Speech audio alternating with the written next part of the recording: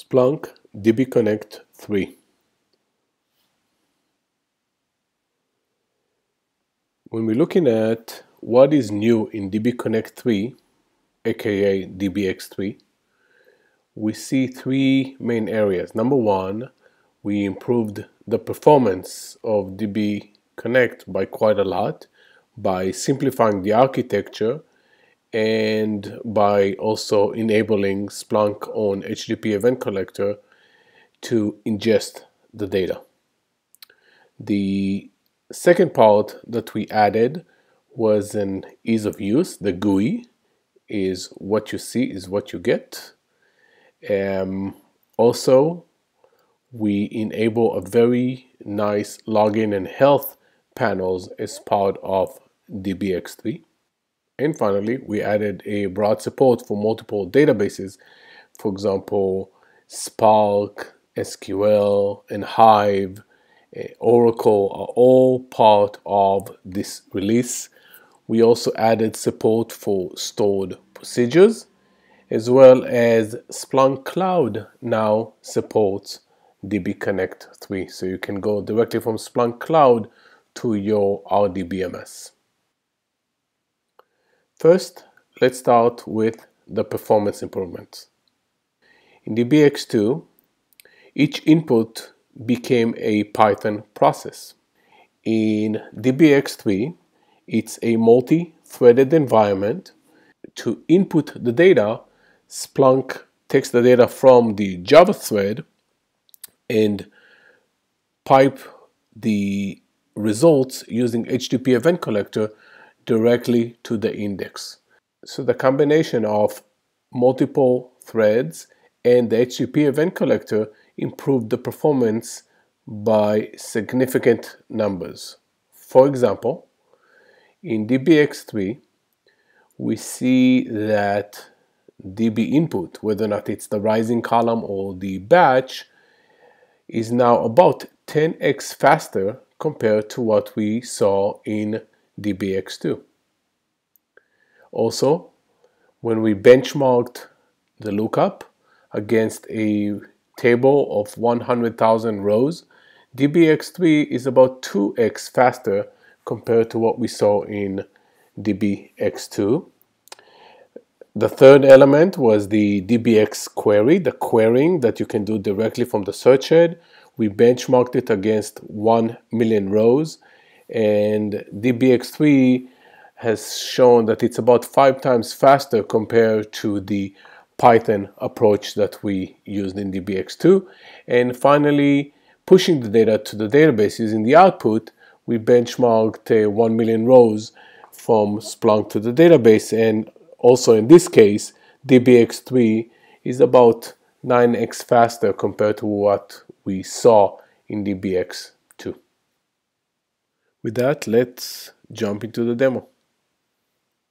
With the new architecture, we added a directory under apps, Splunk app DB Connect called drivers. So the assumption now is that you will add the driver, the JDBC driver that Splunk DB Connect requires underneath this driver subdirectory. Once you added the driver, you can start setting up Splunk DB Connect. The very first step you need to do is select configuration, settings, and make sure you have Java in the path. It has to be Java version 8, which will enable the task server, which is a JVM that's continuously running and making the request to the database and the drivers are then enabled. Once that is done, you can go and select the databases and select identities.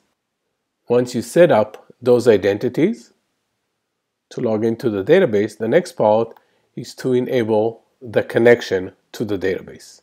In my example, I have a local MySQL database. And as you can tell from the drop down there is many other options. For example you can connect to Spark, Oracle, Informix and many others. And that's where you set up all the parameters to connect to your relational database using the JDBC driver. You are now ready to start setting up your DBX query, your lookup, the output, and the inputs. Normally, we recommend that you start with the SQL Explorer In the SQL Explorer is the easiest way to look at your data and this is a query that will invoke the command called dbx query. You invoke this command and it goes from the search head directly to your database. You can then save that search and use it by other applications in Splunk. For example, looking at a saved search that I created against MySQL, we can see the usage of dbx query inside of a regular Splunk Analytics where I can visualize the data and then pipe it into top and leverage the Splunk language on top of the database by adding the SQL directly into, into the SPL query. The second thing you can do is enable lookups for enrichment of the data. First, you need to set up a reference search. This is the search that will connect the Splunk data with your relational database for enrichment. Next, you will look up the table in which you want to connect to. And once you have done those two first setup, you can then map the Splunk field that came from the index to the database field that going to match those. And then the next part is which fields do you want to bring from the database that will enrich that ID for example looking at the search that I saved using dbx lookup, we can see index equals summary, that's the Splunk data, and then the dbx lookup using the lookup that I prepared in advance is then enriching the data just based on the ID. The ID came from Splunk, but the country code, the city name, and the city population came directly from the database.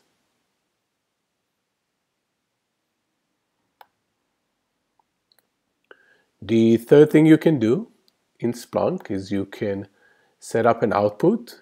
An output allows us to take data from Splunk and push that data to the database.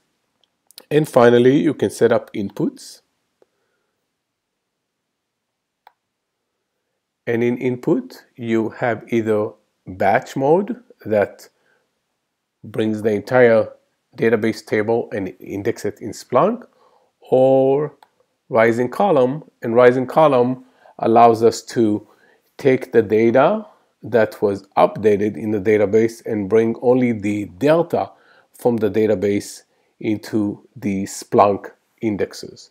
As was the case before, you have to go through a few steps to enable these capabilities.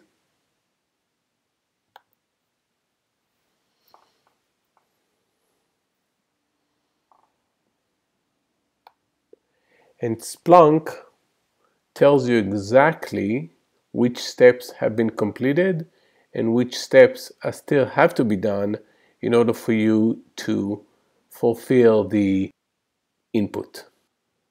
Looking at index MySQL data, we can see an example in which I took the MySQL data and indexed the data into Splunk. Another thing that is new in DBX3 is the location of the rising column. As we mentioned, the rising column will just collect the data that is new from a database and index it into Splunk. To do that, Splunk store the rising column information underneath var lib splunk mod inputs server and the Splunk app DB Connect. Underneath that, you can see each input will have a file. In that file, Splunk keeps track of which rows have been indexed already so that whenever you make a new request by the rising column, it would just bring the rows that have been updated or inserted since this last schedule input. In addition, for the inputs underneath the data inputs HTTP event collector, you can see the DB Connect HTTP input that was installed for you as part of the initial setup of Splunk. And you can override it by pointing the HTTP event collector to store your information into your own index. And finally, you can see in DB Connect the new health and performance monitoring that we enable to keep track of the performance of querying the database or inputting the data from a database and all this information is available in the documentation and in the app. For example, you can see the HTTP event collector, average duration to bring the results, and so on and so forth.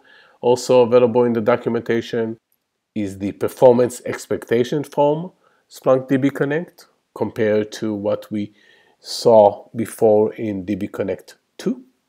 So to summarize, what's new in Splunk DBX3? We improved the performance by significant amount. We made DBX3 easier to use and we added support for cloud and multiple new databases. Thank you.